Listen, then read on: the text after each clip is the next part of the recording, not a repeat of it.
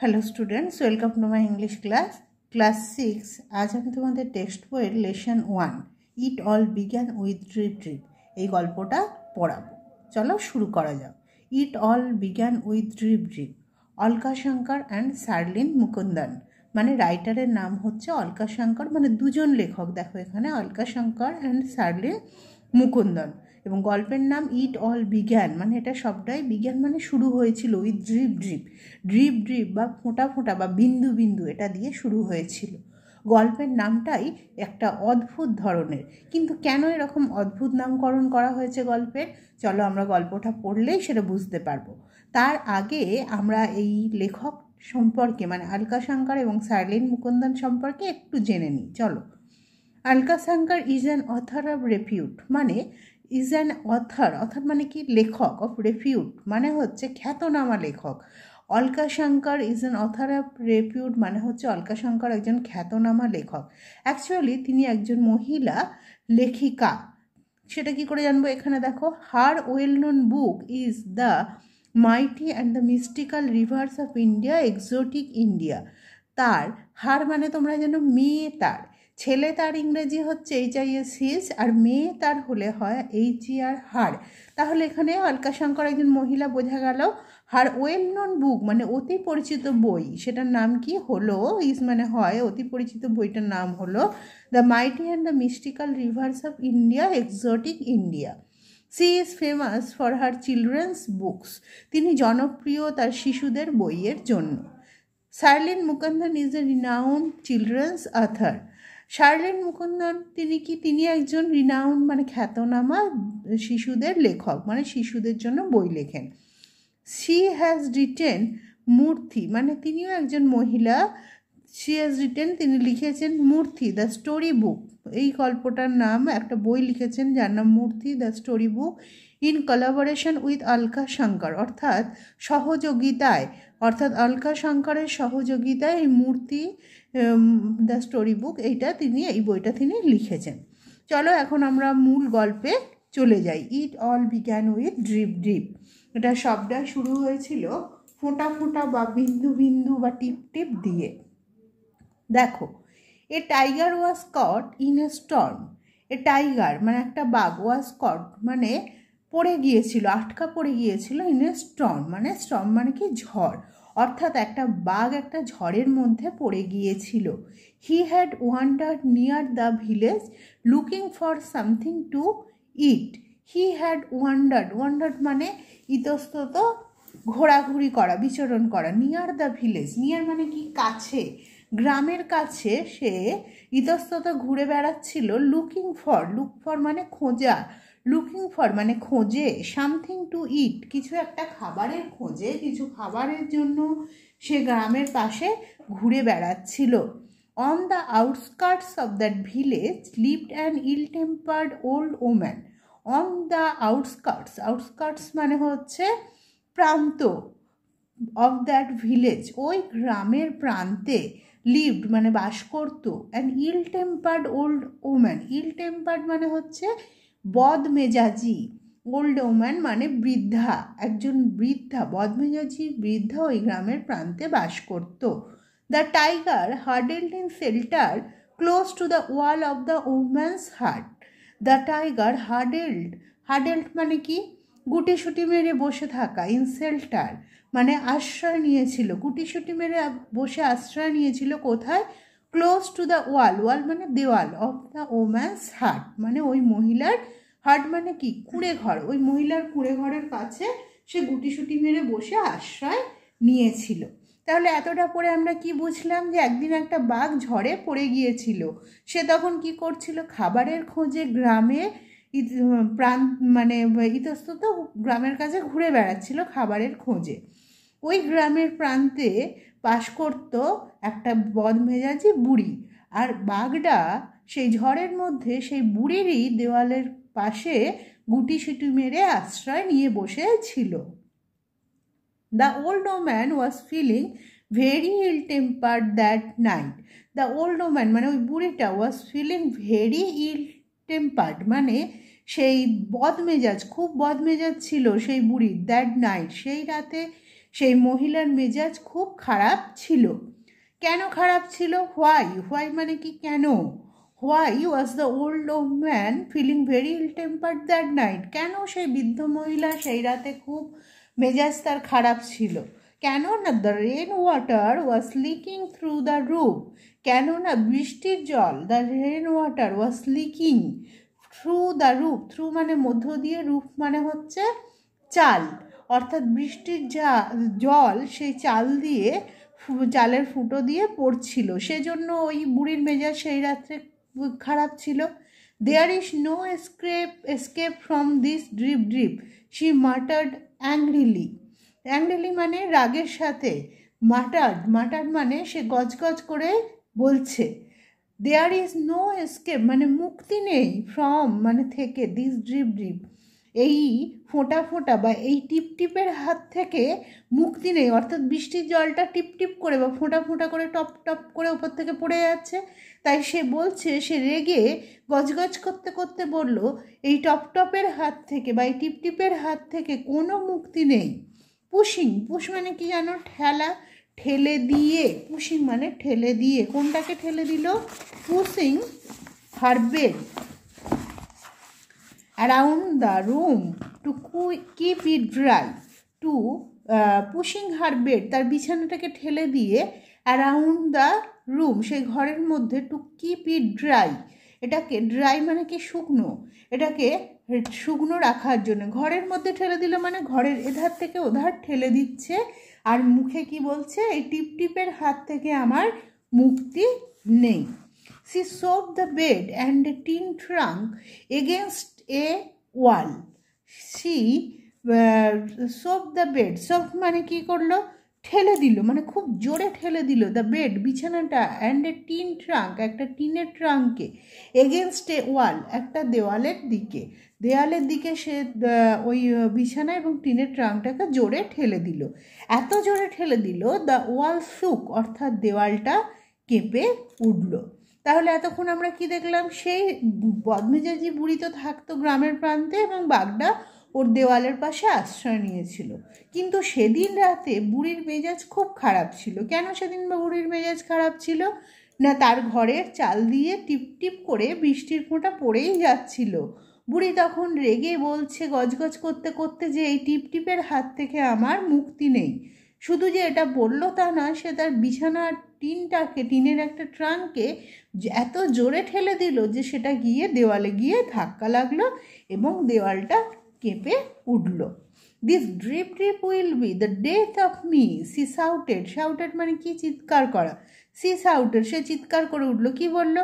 এই drip drip এই ফোঁটা ফোঁটা will be the death of me এ আমার, এ আমাকে মেরেই ফেলবে, এই টিপ, টিপটা আমাকে মেরেই ফেলবে। The tiger on the opposite side of the wall felt the wall shake and was frightened the tiger বাগডা on the opposite side বিপরীত দিকে অফ দ্য ওয়াল দেওয়ালের বাইরে বসেছিল তো বাগডা তাই দেওয়ালের বাইরে থাকা বা দেওয়ালের বিপরীতে থাকা বাগডা felt the wall shake shake মানে নড়া। ফেল্ট মানে অনুভব করল বা বুঝতে পারল দ্য ওয়াল শেক যে দেওয়ালটা কেঁপে উঠল। অ্যান্ড ওয়াজ ফ্রাইটেন্ড এবং ভয় পেয়ে গেল। তাহলে why was the tiger frightened বাঘটা কেন ভয় পেয়ে গেল? হোয়াই মানে কি বলেছি? কেন? ডব্লিউএইচ ওয়াই হোয়াই মানে কেন? কেন বাঘটা ভয় পেয়েছিল? The tiger on the opposite side of the wall was frightened because the wall was shaken কেননা দেওয়ালটা কেঁপে গিয়েছিল, তাই বাঘটা ভয় পেয়ে গিয়েছিল। The drip drip must be a very dreadful creature he thought he মানে কি? সে, ছেলে সে, বাঘটা তাহলে একটি পুরুষ বাঘ ছিল হি থট মানে ভাবলো, সে ভাবলো, কি ভাবলো?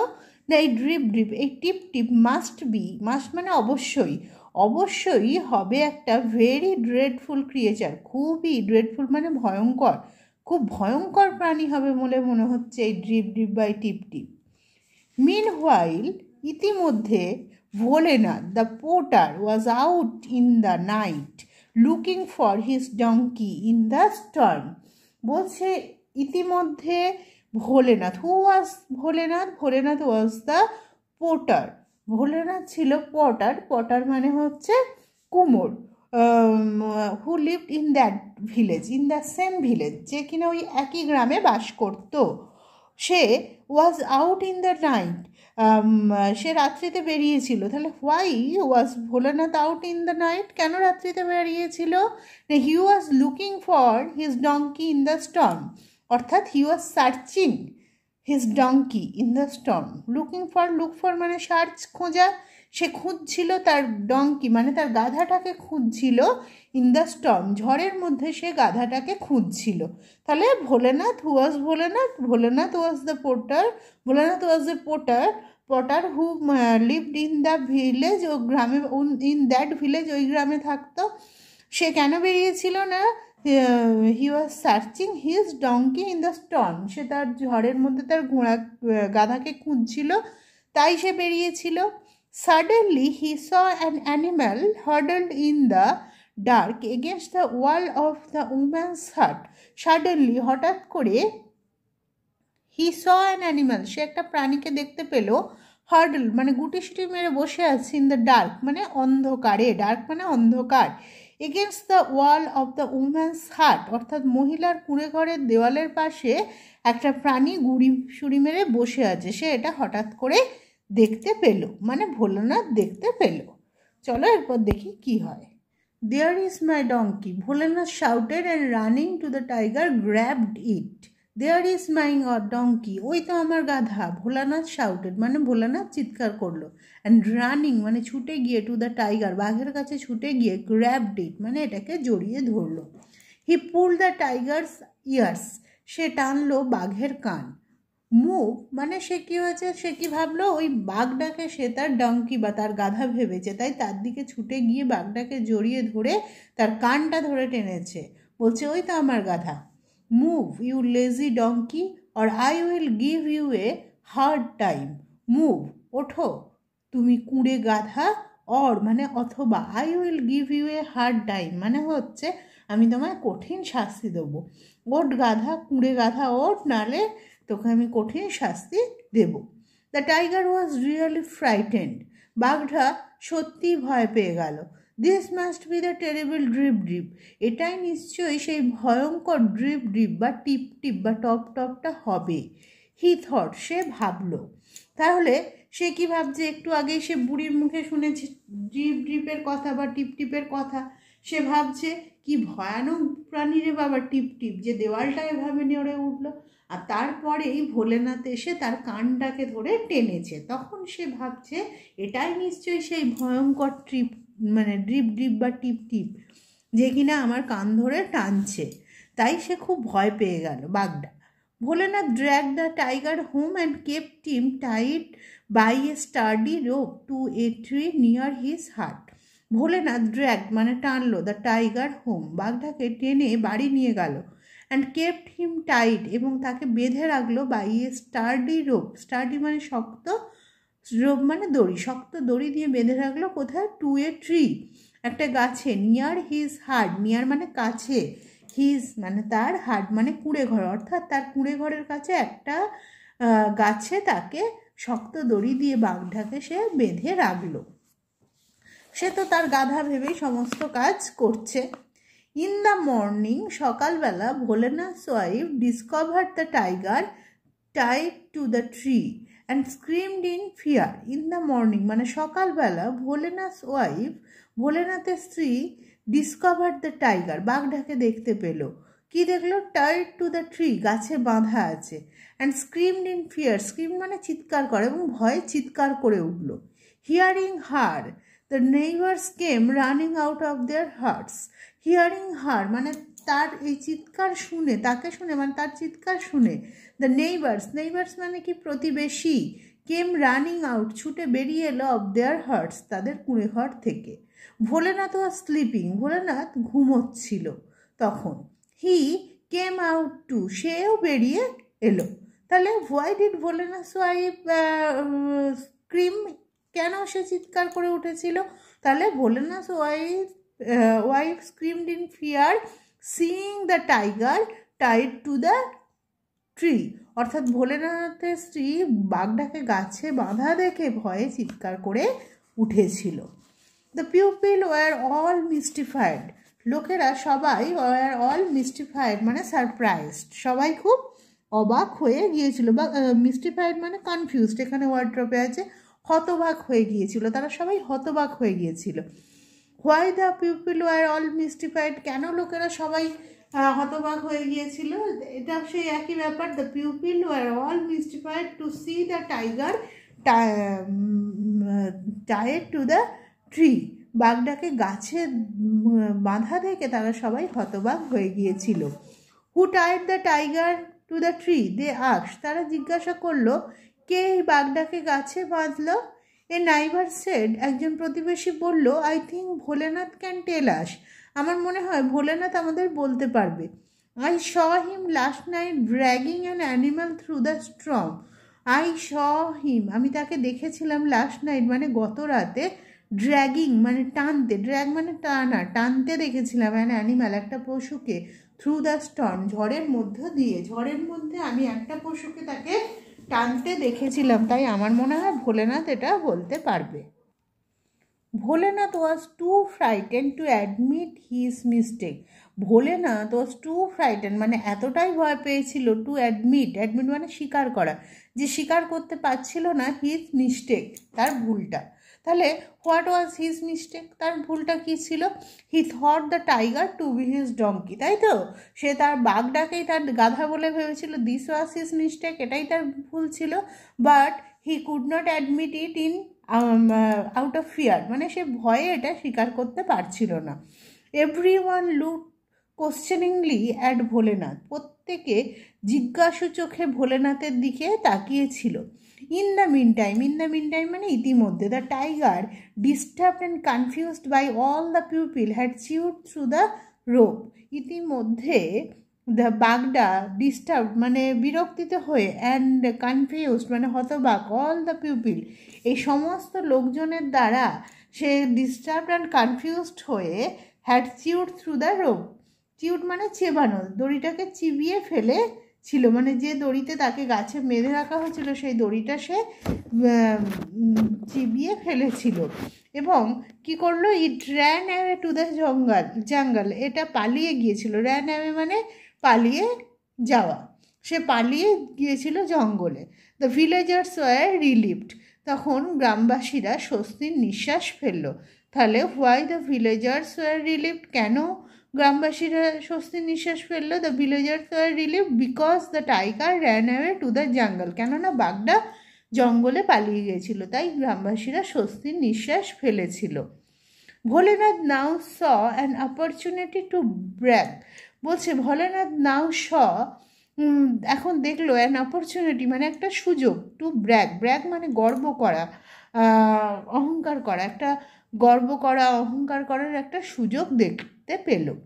It is I who capture the tiger last night বলছে, আমি ইট ইজ আই এটা আমি who capture the tiger last night যে কি না বাঘটাকে কাল রাত্রে ধরেছিলাম। I even pulled its ears I even even মানে এমন কি? পুলড মানে টেনেছিলাম ইটস ইয়ার্স আমি এমনকি আর কানও টেনেছিলাম? সে তো অ্যাকচুয়ালি করেছিল। কিন্তু সে কী ভেবে করেছিল? সে ভেবেছিল ইট ওয়াজ হিজ ডাঙ্কি তাই তো?